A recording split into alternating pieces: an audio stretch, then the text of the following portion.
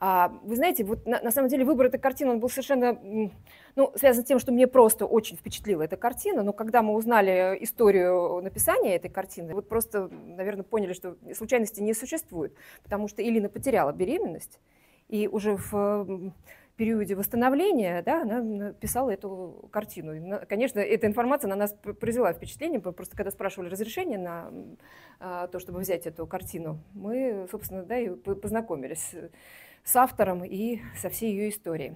А, итак, привычное невынашивание – это э, две и более потери беременности в сроках от зачатия до 22-24 недель. Почему этот срок 22-24? Потому что это граница жизнеспособности.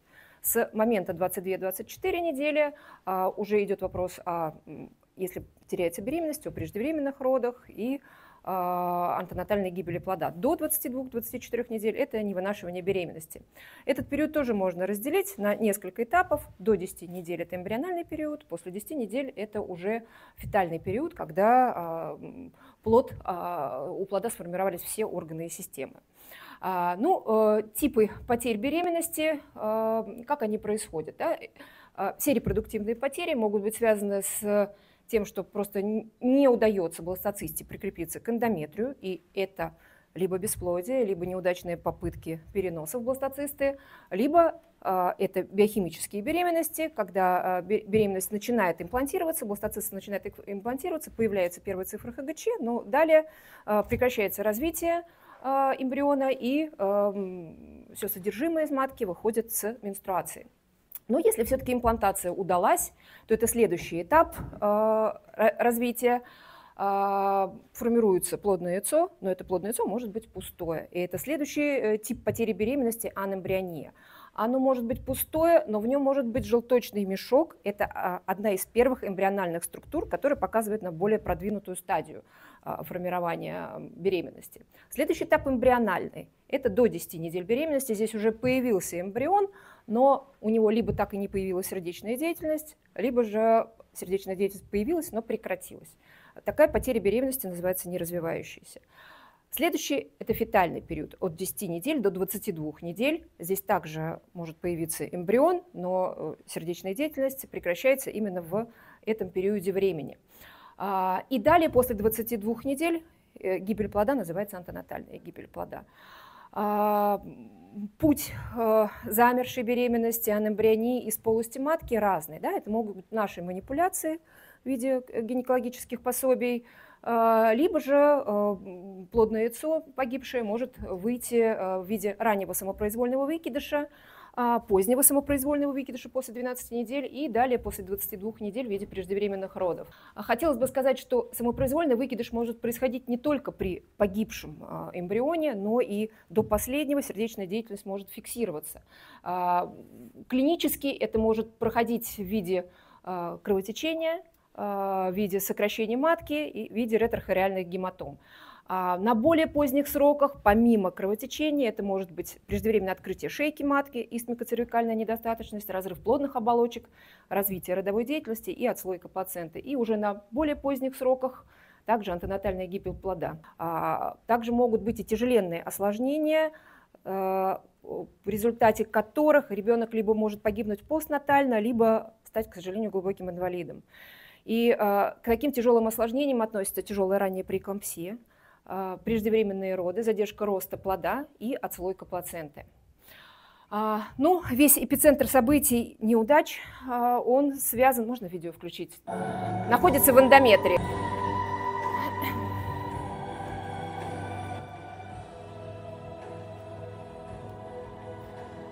Ну вот этот клеточный комочек, который растет от зиготы до моролы, далее пластоциста. И вот самый таинственный момент э, да, прикрепление бластоциста к эндометрию, процесс имплантации. Вот здесь кроется все таинство, наверное, да, по потере беременности. Именно сюда, э, здесь действуют те патологические факторы, которые нарушают эти процессы. Бластоциста должна как ключ к замку подойти к эндометрию. И вот здесь вот может быть очень много препятствий. Во-первых, бластоциста может быть сама некачественная, генетически некачественная, хромосомно некачественная, а, на ней могут не созреть э, вот эти а, маркеры адгезии. А, Так, такая же ситуация может со стороны быть эндометрия. На нем могут не созреть вот эти вот рецепторы, которые должны обеспечить процессы имплантации. От чего будет зависеть созревание рецепторов на эндометрии? Первое, от сигналов самой бластоцисты, насколько она качественна. От гормонального статуса у женщины, потому что изменения эндометрии, они зависят от уровня прогестерона, от уровня эстрогенов. Также эти маркеры адгезии будут готовиться на фоне вот этих гормональных перестроек. Э, помимо этого, есть огромнейший оркестр в эндометрии, называющийся иммунной системой. Именно он дирижирует этими процессами имплантации в том числе. И вы, наверное, кто был у меня на приеме, хорошо знаете про натуральные киллеры. Это первая скрипка вот этих вот процессов имплантации э, в эндометрии, которые обусловлены иммунной системой. Как только что-то не так с эндометрием, он либо хронически воспален, либо э, в, э, в организме у женщины есть какие-то факторы э, сбоя в иммунитете. Например, есть какие-то аутоантитела, которые могут устремиться вот сюда, вот к эндометрию, да, устремиться к этим клеткам иммунной системы и настроить их против имплантации бластоцисты. Как только какой-то из факторов вмешивается в эту симфонию, наступают процессы отторжения или же вообще процессы имплантации невозможны. Плюс э, вот эти патологические факторы могут влиять на развитие клеточек трофобласта. Вы видите, это клетки, которые покрывают бластоцисту и с помощью которых бластоцист внедряется в эндометрий. Это клетки будущей плаценты. Если клетки иммунной системы не позволяют нормально проникнуть э, клеткам трофобласта, нормально им разветвиться, как нормальным корням дерева, да, то отсюда, собственно, и потери на ранних сроках, и в последующем э, неправильные процессы формирования плаценты. А, но помимо а, процессов нарушения имплантации, а, в процессах невынашивания играют еще большую роль так называемое снижение селективности эндометрия. В норме эндометрий должен отторгнуть неполноценную яйцеклетку. А, генетически неполноценную. А, с чем это может быть связано? С нарушенной селективной функцией эндометрия, в том, что он не способен распознать нормальную или ненормальную яйцеклетку. Это один из факторов невынашивания. А, и э, вся проблема также находится в дисфункции вот этих иммунологических клеток, которые должны обеспечить прикрепление генетически нормальной бластоцисты. Какие факторы могут повлиять на процессы имплантации? А, это антифосфолипидный синдром, это другие иммунологические факторы, мы сейчас увидим, да, какие анализы для этого нужно сдать. Это генетические тромбофилии, эндокринологические проблемы, а, это маточный фактор и хронический эндометрит. Ну и также наличие а, очагов хронической инфекции у женщины, дефицит витаминов и различные нейрообменные изменения. Также генетический фактор и мужской инфекционный фактор тоже. Итак, генетические тромбофилии. Что это такое? Это предрасположенность данного человека к тромбозам. Для того, чтобы она реализовалась, на организм должны подействовать какие-то факторы риска тромбозов. А, например, фактором риска является прием гормональных контрацептивов, беременность, длительная там, травма, иммобилизация, хирургическая операция. И э, только в такой ситуации вот эта предрасположенность может э, реализоваться в тромбоз. Где нас интересует тромбоз? Естественно, в сосудах плаценты и в сосудах э, эндометрия. Если там происходят тромботические процессы, то это приводит к тому, что нарушается газообмен э, между эмбрионом и матерью, и э, это обуславливает э, погибание эмбриона. Но помимо этого, а, наличие тромбофилии может привести к неправильным процессам ветвления а, будущей плаценты. А, основным таким структурным элементом плаценты являются ворсины, ворсины хориона. Значит, эти ворсинки могут формироваться совершенно разным э, образом. Да? Они могут быть вот такие вот ветвистые, такие вот прям богатые-богатые, и через них газообмен будет идеальный. А, но в условиях генетической тромбофилии, когда доставка кислорода затруднена из-за того, что кровь вся хуже циркулирует, э, ворсинки хориона будут вот такие бедные. И они не смогут обеспечить нормальный э, газообмен между матерью и плодом. А, ну и здесь для наглядности да, я показываю, так выглядит, собственно, структурная единица плаценты. Вот это вот те самые ворсины, в которых проходят капилляры, а вот это то самое межворсинчатое пространство. Сюда изливается материнская кровь, кислород и питательные вещества через мембраны проникают в капилляры, и вот отсюда да, дальше устремляется в, э, через пуповину к плоду. Так вот, что происходит при генетической тромбофилии? Вот это межворсинчатое пространство, вот это озеро, оно все затромбируется. И поэтому это делает невозможным питание а, плода через а, вот эти вот ворсинки хориона. Это первое, что происходит. Второе. Вы видите, что к межворсинчатому вот этому пространству подходят сосудики, спиральные сосуды они должны определенным образом измениться, они должны быть стать такими крови наполненными, чтобы через них очень хорошо выливалась вот эта вот кровь в а, пространство, омывающее ворсины хориона. Так вот, здесь тоже происходит тромбозы, и поэтому невозможно нормальное, адекватное питание а, плода э, и работа нормальной плаценты. И в, в этом механизм да, задержки роста плода, если на ранних сроках возможно не развивающейся беременности или, а, ну, как крайний вариант, внутриутробной гибели плода. А, антифосфолипидный синдром – это появление аутоантитела к мембранам клеток. Вы все очень хорошо знаете да, это состояние. Оно может э, реализоваться либо в виде тромбозов в организме у женщины, либо в виде акушерской, акушерской проблемы. Акушерская проблема да, – это все та же, это невынашивание, это потеря беременности, это тяжелые преэклампсии. А, какие существуют маркеры антифосфолипидного синдрома и что, что обязательно должна сдать женщина? Ну, а, абсолютными такими, такими критериями настоящего АФС являются антитела к кардиолипину, бета-2-гликопротеину и наличие волчаночного антикоагулянта. Это э, такой классический критерий АФС. Но есть критерии серонегативного антифосфолипидного синдрома, которые могут э, также быть причиной потери беременности. Действие этих антител одинаковое. Они все разрушают мембраны клеток, Первое, вызывая воспаление, э, повышение активности иммунной системы. Во вторую очередь, э, активация свертывающей системы, и это тромбозы. И все эти процессы и воспаления, и тромбозы находятся где? В плаценте, в сосудах плаценты. Поэтому там э, нарушается газообмен, и таким образом происходят возможные потери. А, следующий фактор маточный. Да, это различные пороки развития матки, это двурогая матка, внутриматочная перегородка.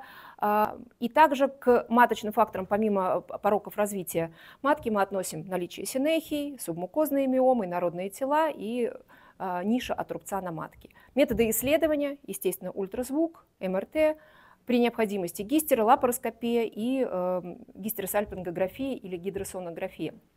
Эндокринный фактор – а, обязательно обследуем пациентов на предмет тиреоидной дисфункции, метаболические расстройства, ожирение, инсулинорезистентность и, соответственно, все анализы а, у таких пациентов берем.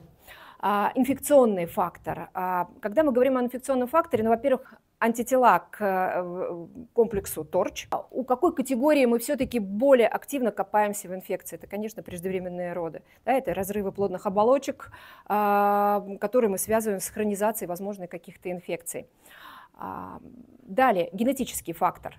Обязательно все пациенты с привычным невынашиванием должны тестироваться генетически вы видите, что да, а, встречаемость в принципе небольшая, и а, ну, здесь на слайде представлены, по каким видам потерь происходят а, хромосомные патологии при наличии носительства одного из супругов э, хромосомной патологии. Ну, сразу всегда пациенты задают вопрос, а что же делать? Да? Это, конечно, ЭКО с предимплантационной диагностикой в такой ситуации, это просто выход из такой проблемы. Мужской фактор – а, повреждение ДНК сперматозоидов, естественно, может быть причиной замирания беременности и э, потери беременности. Почему? Потому что, во-первых, может формироваться некачественный генетический материал у самой бластоцисты, и, во-вторых, э, мужские э, хромосомы, они несут информацию а, программу развития бластоцисты. И а, остановка развития может быть связана с именно нарушением этой программы из-за некачественной ДНК сперматозоидов. Ну, методы обследования тоже все известны. Это спермограмма, это тест фрагментации ДНК и МАР-тест. А, иммунные факторы – это все маркеры АФС, как и классического, так и акушерского. Это наличие антинуклеарных антител, фактора, ревматоидный фактор и иммунный статус, клеточный гуморальный иммунитет. Очень многие задают вопрос, э, что это за анализ. Он по-разному может называться, субпопуляция лимфоцитов. Наша задача в этом а, анализе посмотреть периферические НК и ТНК клетки, как возможные маркеры и э, факторы невынашивания беременности. Ну и обязательно гормональное обследование. Нас интересует функция щитовидной железы, нас интересуют и половые стероиды, естественно, антимюллеровский гормон и э, показатели сахаров и инсулина. Обследование на инфекции. А, конечно, плюс-минус мы расширяем а, в зависимости от э, вида потерь наши обследования. А, обязательно общеклинические исследования, потому что сколько мы уже да, говорим, что мы не смотрим на какую-то вот одну узкую проблему, да, человек должен быть здоров в целом. А, поэтому, естественно, да, исследуем и биохимический анализ, и клинический анализ крови, и у пациентов, перенесших переклампсию, естественно, обследуем сердечно-сосудистую систему и суточный мониторинг давления, а, обследование у кардиолога и так далее. Естественно, генетика, естественно, а, мужской фактор. Средством борьбы с невынашиванием беременности. У нас есть э, в арсенале определенные средства. Они все на пересчет. Я думаю, что вы все сидящие здесь, их все знаете. Да, а, мы их можем сгруппировать на а, а, антикоагулянты и дезагреганты. Да, это известные вам низкомолекулярные гепарины, клексанфроксипарин, это дезагреганты кардиомагнул или тромбоаз. Сюда же можно отнести э, курантил и пентоксифилин, как тоже препараты, влияющие на функцию тромбоцитов. Итак, у этих, этой группы препаратов помимо антикоагуляционного эффекта есть еще огромнейший эффект противовоспалительный, иммуномодулирующий. А, мы не просто так при хроническом эндометрите назначаем эти препараты. Нам не нужно невероятного антикоагуляционного эффекта. Нам нужен именно а, иммуномодулирующий эффект того же клексана и фоксипарина.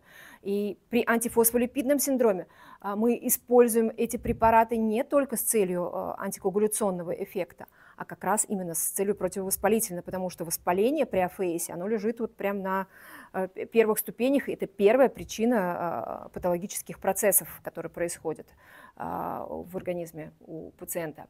А следующая группа препаратов чисто с иммуномодулирующим, иммуносупрессивным супрессивным эффектом. Это препараты глюкокортикостероидов, доступные сейчас на рынке медрол и преднизолон, и метипред у кого есть в запасе. Это плаквенил, это иммуноглобулины и интралипиды. А многие специалисты уже давно используют текролимус и а, лейкостим, а, включая использование этих препаратов во время беременности. Я, учитывая свою аккуратность, все-таки дождусь, наверное, а, исследований, в которых я четко буду убеждена, что это безопасно во время беременности, потому что статей очень много с рекомендациями о использовании этих препаратов, но я бы пока что дождалась ну, более крупных исследований. А, но Э, по препаратам, перечисленным выше, вот до этого пункта, да, у нас есть очень много исследований, которые показывают, что эти препараты во время беременности безопасны. У вас было много очень вопросов при подготовке да, к э, этой встрече о безопасности глюкокортикостероидов. А, у нас есть много данных о безопасности применения этих препаратов. А, тем более дозировки, которые используем мы с вами, они не запредельные, они не вызывают а, они и не вмешиваются в органогенез у эмбриона и в дальнейшем у, у плода. А, точка приложения у этих препаратов а, – это все та же иммунная система. Если мы вернемся да, на несколько слайдов назад и вспомним вот, вот этот иммунологический профиль эндометрии, который дирижирует процессами имплантации, вот все влияние этих препаратов, оно устремлено, устремлено именно туда. Митипред выключают функцию этих натуральных киллеров и переводя их из цитотоксического режима в обычный режим, который как раз способствует имплантации. А, плаквенил обладает таким же действием. А, иммуноглобулины выключают определенные рецепторы а, на тех же натуральных киллерах. И интролипиды, препараты жировых эмульсий, вот как это ни странно звучит, они также обладают вот таким вот действием снимать цитотоксичность с натуральных киллеров. Но помимо этого препараты, препараты плаквенил и иммуноглобулин очень активно используются при антифосфолипидном синдроме и циркуляции любых антител в э, организме женщины. А, иммуноглобулины могут связать вот эти циркулирующие антитела патологически, помочь выключить их из работы. Иммуноглобулины а, также защищают сосудистую стенку от воспаления. А, плаквенил точно так же а, выключает некоторые клетки иммунной системы, которые продуцируют вот эти патологические антитела и антифосфолипидные э, антитела, и антинуклеарные антитела. Вы видели, как у вас снижается уровень АНФ при использовании плаквенила. Действие примерно да, одинаковое. А, и э, третья группа препаратов, которые используются, это прогестероны и препараты эстрадиола. И помимо их, собственно, гормонального э, свойства, у этих препаратов есть также иммуносупрессивное свойство. Большие дозы гистогенных препаратов и эстрогенных препаратов также обладают свойством иммуносупрессии.